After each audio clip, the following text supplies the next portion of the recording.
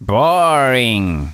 Now watch and learn how the great me does it. I possess a power so great all they could do is stare in awe. Everyone has to pay the price for their mistakes.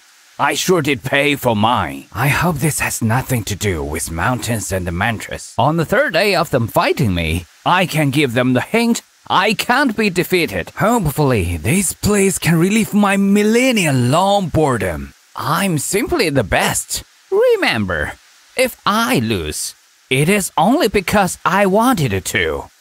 Sure. Anything to make this day a little more exciting? I doubt a devoted lifetime of painstaking training would be enough to beat me. Don't worry, I am very persistent. They call me a thousand names, but you can simply call me King. Nice to meet you, King. I'm King. I've lived through millennia.